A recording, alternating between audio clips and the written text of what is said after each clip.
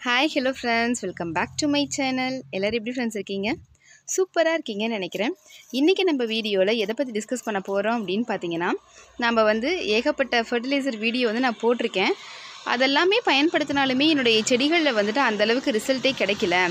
இவங்க செடிகளில் மட்டும்தான் இப்படி பூக்கள் பூக்குது. நீங்கள் என்ன சிஸ்டர் பண்ணுறீங்க அப்படின்ற மாதிரியான கொஷின்ஸ் வந்து திரும்ப திரும்ப கேட்டே இருக்காங்க. ஸோ அவங்களுக்கான ஒரு ஸ்பெஷல் வீடியோவாகவும் வந்து நான் இதை அப்லோட் பண்ணியிருக்கேன் ப்ளஸ் இன்னொன்று வந்து என்ன அப்படின்னு பார்த்தீங்கன்னா இந்த சம்மர் சம்மர் வந்து ஆரம்பிச்சாச்சு.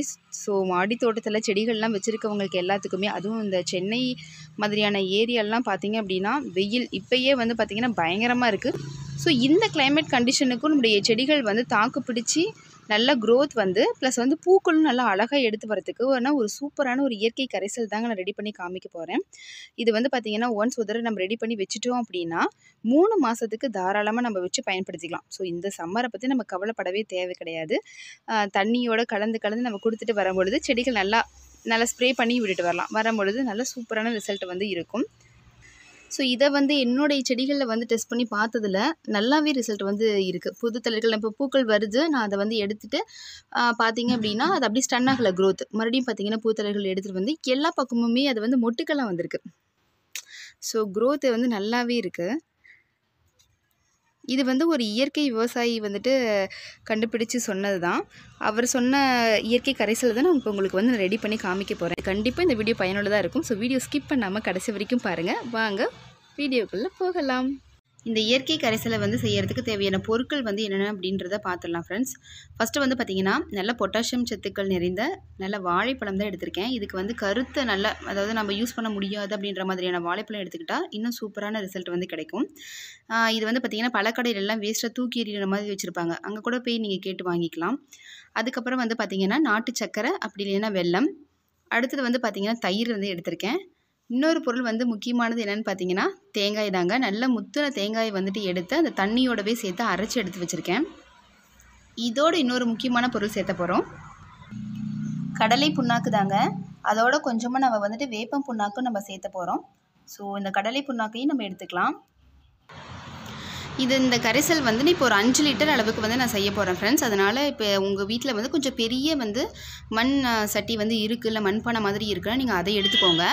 இப்போ என்கிட்ட வந்து பார்த்திங்கன்னா இது ஒரு மூணு இது வந்து வழி வழியே எடுத்துக்கிட்டோம் அப்படின்னா அஞ்சு லிட்டர் வரும். இருந்தாலும் நமக்கு ரொம்ப அது நொதிச்சு வரும்போது நம்ம கிளறி விடணும் இல்லைங்களா? அதுக்கு வந்து ஸ்பேஸ் வேணும். ஸோ அதனால் நான் என்ன பண்ணியிருக்கேன் இன்றைக்கி வந்து ஒரு பக்கெட் தான் எடுத்திருக்கேன். இப்போ நம்ம சொன்ன பொருட்கள்லாம் ஒவ்வொன்றும் நம்ம சேர்த்திடலாம்.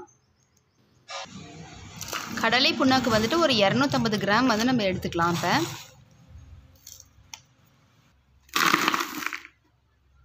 இதோட ஐம்பது கிராம் அளவுக்கு நான் வந்து வேப்பம் புண்ணாக்கு வந்து செஞ்சுருக்கேன். இதோட வந்து பார்த்திங்க அப்படின்னா ஒரு மூடி தேங்காய் வந்து நல்லா எடுத்து அந்த நல்லா அரைச்சி எடுத்து வச்சுருக்கேன். இதில் வந்து பார்த்திங்கன்னா கால்சியம் சத்துக்களும் இருக்குது ப்ளஸ் வந்து செலினியம் கண்டென்ட்டும் வந்து அதிகமாக இருக்குது அடுத்தது தயிர் தாங்க. இதில் வந்துட்டு நல்ல ஒரு புளிச்ச தயிராக இருந்தால் இன்னும் வந்து சூப்பராக நல்லா ஃபர்மெண்ட் ஆகி வரும். நான் வந்து கொஞ்சம் ஒரு ஒரு நாள் ஆன தயிர் தான் எடுத்திருக்கேன். நீங்கள் நல்லா புளிச்சு வச்ச தயிராக இருந்தால் இன்னும் சூப்பராக வந்து ஒர்க் ஆகும்.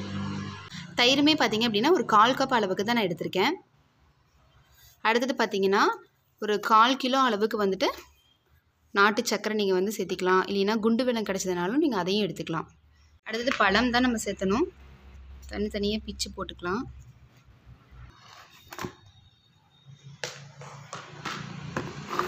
இப்போ இதை நம்ம கையினாலே நல்லா பிசைஞ்சு விட்டுடலாம்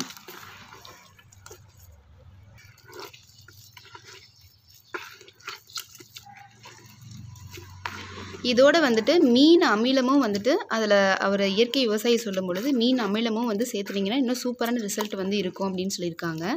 நீங்கள் வந்து மீன் அமிலம் உங்கள்கிட்ட இருந்தது அப்படின்னா ஒரு டூ ஃபிஃப்டி எம்எல் அளவுக்கு நீங்கள் இதில் வந்து சேர்த்து விட்டுடலாம் அதுவும் வந்து இந்த சூப்பரான ரிசல்ட் வந்து கிடைக்கும். பூச்செடிகளுக்கெல்லாம் அருமையான ஒரு இயற்கை கரைசலுங்க இது. நான் வந்து ஃபஸ்ட்டு ஒரு ஒரு லிட்டர் அளவுக்கு தான் நான் செஞ்சு பார்த்து என்னுடைய செடிகளில் வந்து பயன்படுத்தி பார்த்தேன். பெஸ்ட்டான ரிசல்ட் வந்து என்னுடைய செடிகளில் கிடச்சிது. ஸோ நீங்கள் ஒன்ஸ் ஒரு தடவை இது மாதிரி ரெடி பண்ணி வச்சிட்டிங்க அப்படின்னா நீங்கள் இந்த மூணு மாதத்துக்கு சின்ன மாடி தோட்டம் தான் நீங்கள் வச்சுருக்கீங்க அப்படின்ற பட்சத்தில் நம்ம இதுலேருந்து ஒரு லிட்டர் அளவு தான் நம்ம எடுத்து பத்து லிட்டர் தண்ணியில் கலந்து விட்டு பயன்படுத்துவோம். ஸோ மூணு மாதத்துக்கு உங்களுக்கு தாராளமாக போதுமானதாக இருக்கும். அவ்வளோதான் ஃப்ரெண்ட்ஸ் நல்லா வந்து கலந்து விட்டாச்சு. இப்போ இதில் வந்து அஞ்சு லிட்டர் அளவுக்கு நம்ம தண்ணியே சேர்த்திடலாம்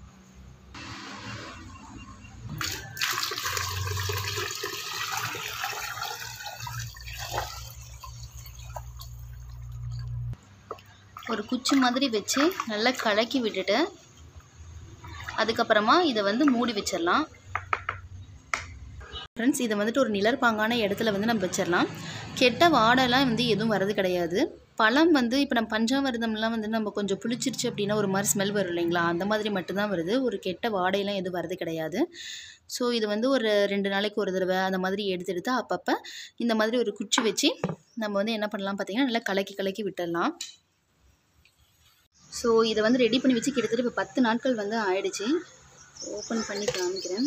பாருங்கள் மேலே வந்துட்டு ஒரு ஃபங்கஸ் மாதிரி ஃபார்ம் ஆயிருக்கு இல்லைங்களா? இது வந்து ஒரு குட்டானது தான் செடிகளுக்கு நல்லது தான் அப்பப்போ நீங்கள் வந்துட்டு இடையிடையில் வந்துட்டு நல்லா கிளறி விட்டுக்கோங்க. இது வந்து ஒரு பேடான ஸ்மெல்லாம் வருதா அப்படின்னு பார்த்தா அப்படிலாம் எதுவும் கிடையாது. ஒரு புளிச்ச ஸ்மெல் தான் வந்துட்டு வருதே ஒழிய மற்றபடி எந்த மாதிரியான ஒரு நாற்றம்லாம் எதுவும் ஏற்படுத்துறதில்லை இது நான் என் கிச்சனில் தான் வச்சுருந்தேன். ஸோ இந்த மாதிரி நல்லா கலக்கி விட்டுக்கோங்க. எல்லாமே பாருங்கள் நம்ம ஊற்றின பொருட்கள் எல்லாமே நல்லா கரைஞ்சி நல்லா நொதிச்சிருக்கு.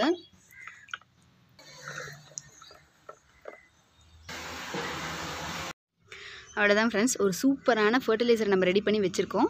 இது வந்து பார்த்திங்கன்னா மூணு மாதம் வரைக்குமே நீங்கள் தாராளமாக வச்சுருந்து பயன்படுத்தலாம்.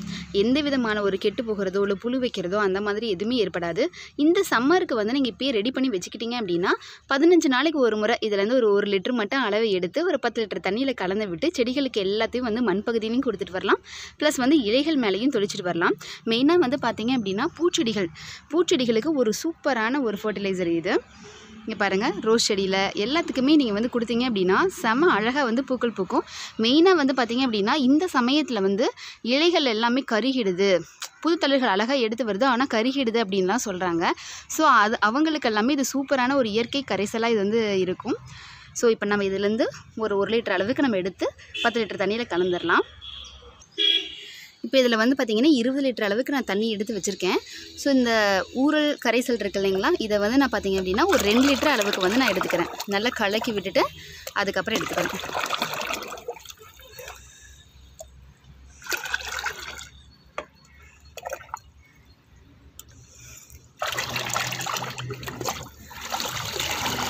இதில் இருந்து செடிகளுக்கு வந்து பழைய செடியாக இருக்குது அதாவது வச்சு இப்போ ஒரு வருஷம் அந்த மாதிரி கிட்ட இருக்குது அப்படின்னா நீங்கள் ஒரு லிட்டர் அளவுக்கு தாராளமாக கொடுத்துக்கலாம்.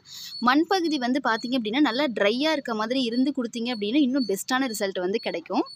செடி வச்சு இப்போ தான் வந்து புதுசாக இருக்குது ஒரு சின்ன செடியாக தான் இருக்குது அப்படிங்கிறத பட்சத்தில் நீங்கள் ஒரு டூ ஃபிஃப்டி எம்எல் அளவுக்கு நீங்கள் கொடுத்தீங்கனாவே போதும்.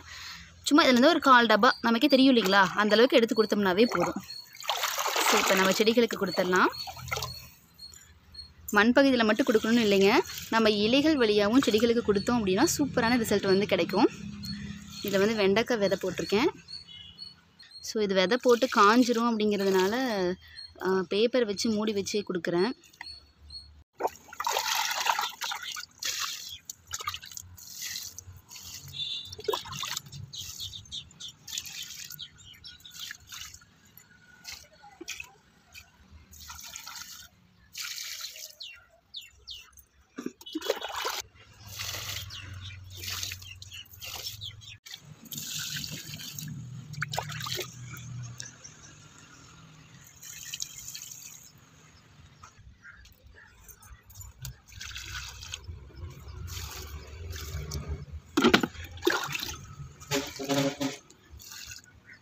ஓகே ஃப்ரெண்ட்ஸ் இந்த கரைசல் வந்து நீங்களும் வீட்டில் ரெடி பண்ணி பார்த்துட்டு உங்கள் செடிகளுக்கு கொடுத்து பாருங்கள் எந்தளவுக்கு ரிசல்ட் இருந்தது அப்படின்றத கமெண்ட் செக்ஷனில் சொல்லுங்கள் உங்களுக்கு இந்த வீடியோ பிடிச்சிருந்தது அப்படின்னா குட்டியாக லைக் கொடுங்க. யாருக்காவது யூஸ்ஃபுல்லாக இருக்கும்னு நினச்சிங்கன்னா ஷேர் பண்ணுங்கள் சப்ஸ்கிரைப் பண்ண மறந்துடாதீங்க.